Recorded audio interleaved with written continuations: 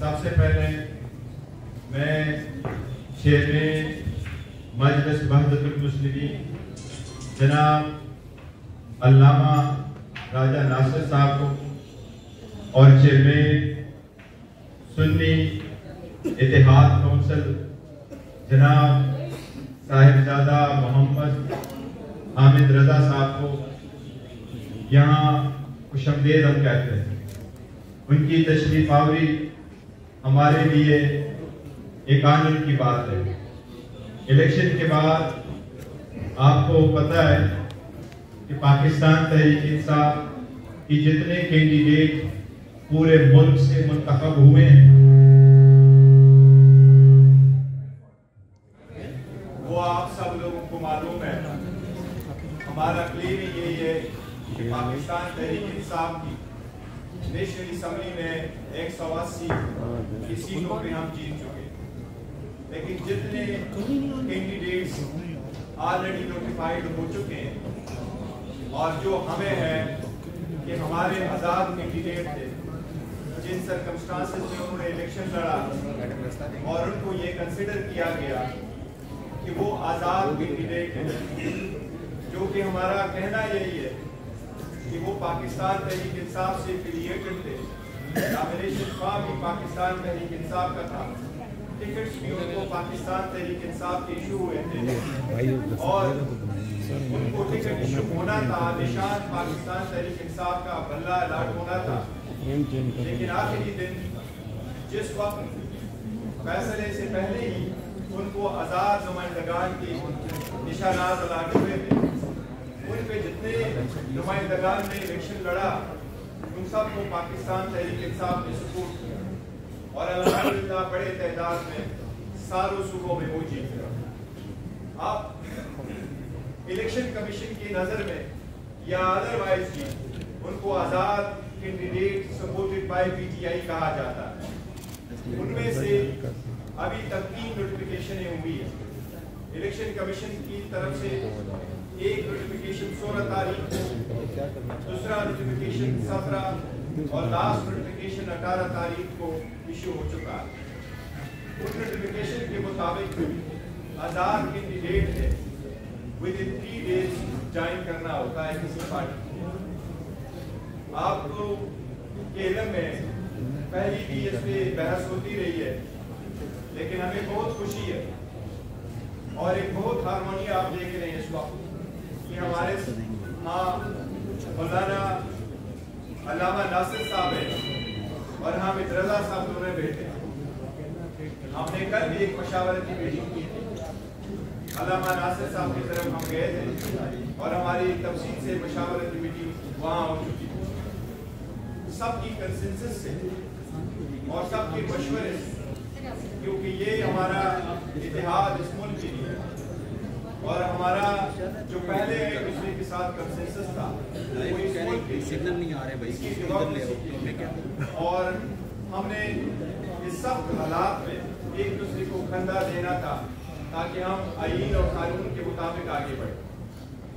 आप जबकि आज़ाद की डिबेट है हमारे वो चाहे प्रोविंशियल असम्बली में पंजाब के चाहे वो प्रोविंशियल असम्बली के पीके में है, चाहे वो नेशनल असम्बली में है। अब कंसेंसस के साथ हमारा ये फैसला हो चुका है कि हमारे कैंडिडेट्स वो नेशनल असम्बली में और वो प्रोविंशियल असम्बली पंजाब और प्रोविंशियल असम्बली यूपी के इन ताला सुनी इतिहाद काउंसिल को एज अ पार्टी ज्वाइन करेंगे। हमारे कैंडिडेट अपने एफिडेविट कल जमा करा चुके हमारे पास।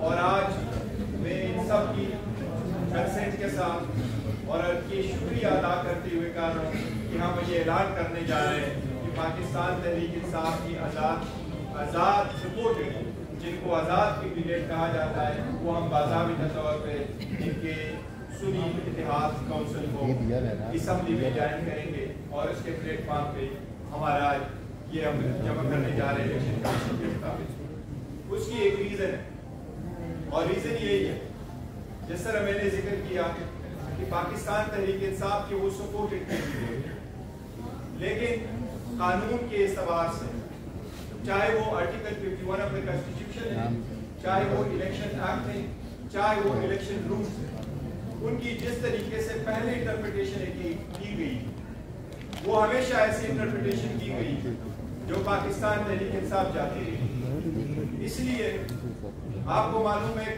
कि नेशनल असम्बली में सत्तर रिज़र्व सीटें मौजूद है। इसी तरह पूरे मुल्क में 227 रिज़र्व सीट्स है। ये सीटें मिलती है उन सिर्फ़ पॉलिटिकल पार्टी इसलिए अपने रिज़र्व सीटों को प्रोटेक्ट करने के लिए अपने मेम्बरान को मुकवर देने के लिए ताकि पार्टी इंस्ट्रक्शन की पाबंद हो। हमारा आपस में इनफॉर्मल मुआहदा भी हुआ है और हमारे कैंडिडेट उसके पेश नज़र सारे के सारे इन ताला, वो ज्वाइन कर चुके हैं और वो डॉक्यूमेंटेशन हम आज इलेक्शन कमीशन के सामने इन ताला, पेश करेंगे। और इलेक्शन कमीशन से बाबा तौर पर आज एक लेटर के ज़रिए हम एक दरख्वास्त कर रहे हैं कि हमारे नेशनल असम्बली में चाहे वो वमेन या नॉन मुस्लिम सीट है, चाहे वो पंजाब या के पी के और दूसरे सूबों में है इलेक्शन कमीशन से हम लोग आजामी तौर पर दरखास्त देकर मुतालबा करेंगे कि हमारे रिज़र्व सीटों की एलोकेशन हमारे पार्टी स्ट्रेंथ के मुताबिक, कानून के मुताबिक वो हमें एलोकेट करें। तो एक बार फिर मैं दोनों का बहुत शुक्रिया अदा करता हूँ और मैं अभी उम्मीद करता हूँ इजहार करेंगे हमारे सेक्रेटरी जनरल साहब, हमारे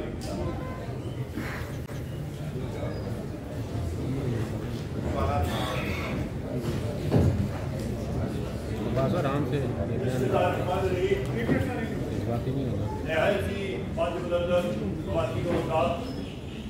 यहाँ पे हमारे नहायत ही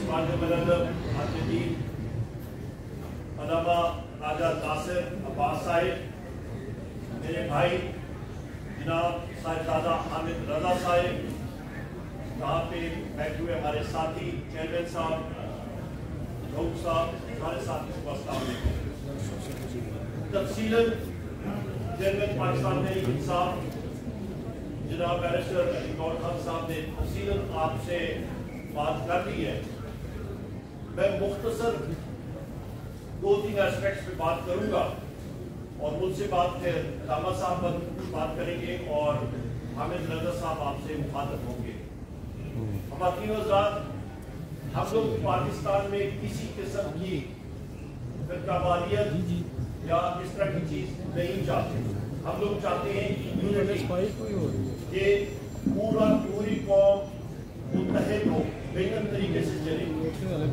उसके साथ साथ आज जिस तरह के बैरिस्टर गौर अली खान साहब ने यहाँ पे ऐलान भी किया कि पाकिस्तान तहरीक के इंसाफ के हमायत याफ्ता उम्मीदवार जो कि कामयाब हुए हैं।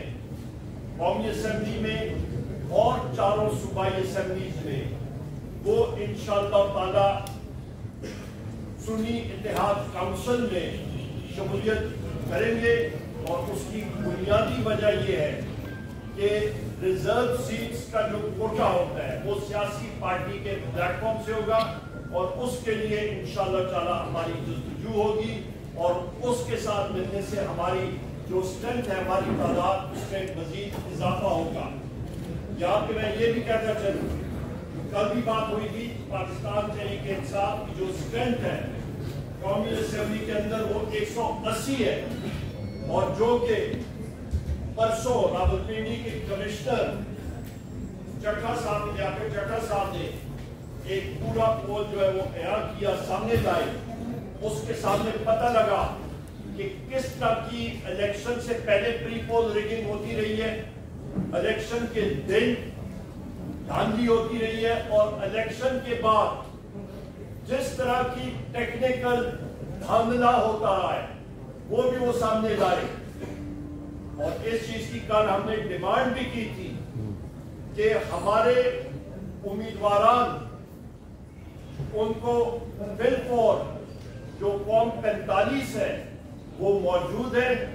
उसकी बिना पे जो असली फॉर्म सैतालीस बनना चाहिए और उनको रिटर्न कैंडिडेट डिक्लेयर करना चाहिए कि वो कौमी असेंबली और सूबाई असेंबली में जाके अपनी हलफ बर्दारी कर सकें। उसके साथ साथ हमने ये भी बात कही थी कि एमक्यूएम ने पाकिस्तान तहरीक इंसान के मैंडेट पे सिंध और बिलखसूस हैदराबाद और कराची पे डाका डाला है हमला किया है। पिशावर की सात आठ सीटें हमारी जो है, वहाँ पे डेप्यूटी कमिश्नर पिशावर और उनके एहलकारान और पुलिस के अफसरान वो भी मुलवस है उस गांधी में। इसी तरह मैरियट होटल में हमारे 80 से ज़्यादा वो साथी जिनको धांधली के ज़रिए उनके फॉर्म सैतालीस तब्दील किए गए। उन्होंने अपने शवायद सामने रखे तो उसको इमीडिएट बिल को रिवर्स करना चाहिए और उनको रिटर्न कैंडिडेट डिक्लेयर करना चाहिए। आखिरी दो चार पॉइंट्स इस अमल के बाद इंशाल्लाह ताला हुकूमत सूबों में और कौमी सतह पे नेशनल असेंबली में पाकिस्तान तहरीक इंसाफ के हमारे जो कैंडिडेट्स आए हैं और उसके बाद वो सुन्नी इतिहाद काउंसिल में जाएँगे। हमारी ही पार्टी इंशाल्लाह ताला हुकूमतें बनाएगी और सबसे पहला काम होगा कि हमारे दिलों पे राज करने वाले वज़ीर आज़म इमरान खान साहब, बुशरा बीबी की रिहाई, उसके साथ साथ शाह महमूद कुरैशी साहब, चौधरी परवेज इलाही साहब, हमारी खातन जो इस वक्त पाबंद सरासन है हमारी सीनियर खातन मेम्बरान उनकी फ़ौरन पाबंद सरासन से रिहाई और हमारे जो मर्द हजरात हैं, सीनियर लीडरशिप है, जो पाबंद सरासन है, उनकी रिहाई और सबसे अहम हमारे सिरों के ताज, हमारे वो वर्कर्स जिन्होंने इमरान खान साहब और पाकिस्तान तहरीक इंसाफ के नज़रिए के ऊपर हकीकी आज़ादी के लिए कुर्बानियाँ दी और जिन पे एफ़ आई आर है और वो पाबंद सरासन है, उनकी फ़िल्म और रहाई उसके लिए हमारा ये हदफ होगा, उस पर हम लोग काम करेंगे इंशाल्लाह खातन मैंने ये बातें आपके सामने पेश की और इसके बाद मैं न्याय की वाजब जनाब अलामा राजा नासिर अब्बास साहब से गुजारिश करूँगा कि वो आपसे मुखातिब हो। और मैं यहाँ पे ये भी कहकर चलूँ कि हमारी M W M Majlis Muslimeen, इन्होंने जितनी सपोर्ट की है इमरान खान साहब के लिए, पाकिस्तान तहरीक इंसाफ के लिए, मेरे पास वो शुक्रिया के अल्फाज नहीं है। हर जगह पे अलामा साहब कहते हैं कि इंसान के लिए एक स्ट्रेटेजिक थिंकिंग होनी चाहिए। जहाँ पे मैं अलामा साहब आपका तहे दिल से, पाकिस्तान तहरीक इंसाफ के हर एक वर्कर की तरफ़ से आपका, आपकी टीम का तहे दिल से मशहूर जो आपकी सोच है पाकिस्तान के लिए, जो आपकी सोच है इस्लाम के लिए हम लोग आपका तय दिल से शुक्रगुजार है कि हमेशा आपने पीटीआई की और इमरान खान साहब की हमायत की है। बहुत बहुत शुक्रिया।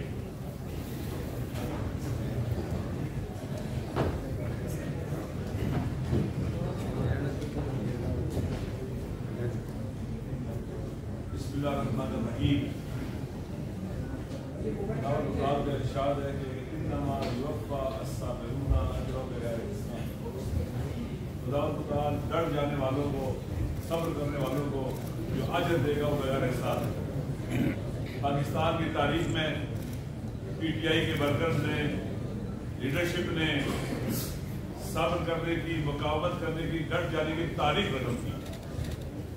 और ये सिलसिला भी लग जारी है। आप सब जानते हैं कि किस तरह से हुकूमत को कराया गया, आलमी एजेंडे के तहत, और उनके दाखिल में जो घुस बैठिए थे, उन्होंने सहूलतकारी की और एक स्टेबल गवर्नमेंट को गिराकर पूरे मुल्क को बहरान ने शिकार किया। और जुल्म और सितम की इंतहा की। तमाम गैर कानूनी और गैर कानूनी गैर आईनी इकदाम किए गए और करने किए गए कि लोगों को डरा दे मौजूदा कर दे मायूस कर दे और इस तरह से उनका जो एपिसोड है, वो कामयाब हो जाए। उनकी मिसकैलकुलेशन थी। उन्होंने पीटीआई की लीडरशिप को नहीं पहचाना था, आवाम को नहीं पहचाना था, जिसके नतीजे में उनका हर कदम उन्हें दलदल में लेके जाता गया। और साथ साथ पाकिस्तान को भी डुबोने की पूरी कोशिश करते रहे। इंतज़ार था इलेक्शन का। गैर आईनी तौर पर इलेक्शन को डिले किया गया। गैर कानूनी तौर पर इलेक्शन को डिले किया गया।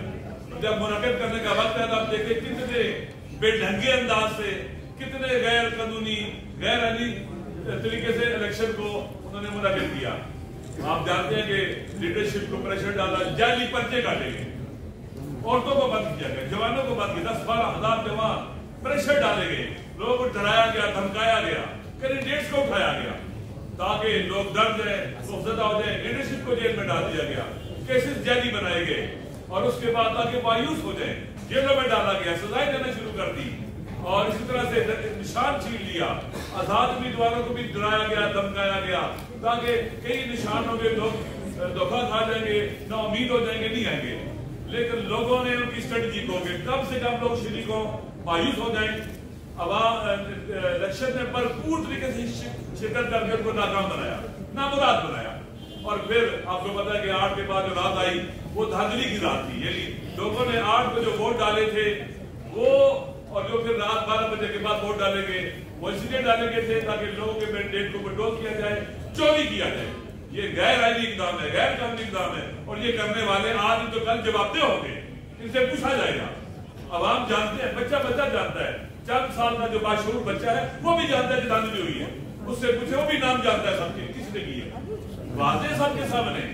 अगर लोग अपने जो डोमेन से बाहर निकलेंगे, जो उनकी ज़िम्मेदारी से बाहर निकलेंगे तो फिर इलेक्शन जो हुआ है, अमूमन इलेक्शन किस लिए होते हैं?